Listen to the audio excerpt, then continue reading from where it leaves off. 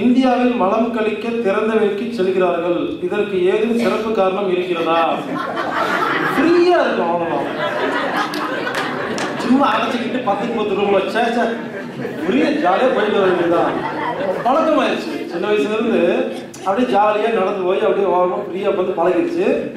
அந்த மாதிரி பழகங்களை கூட்டு வந்து விட்டு பாருங்க. இங்க பிடிக்காது.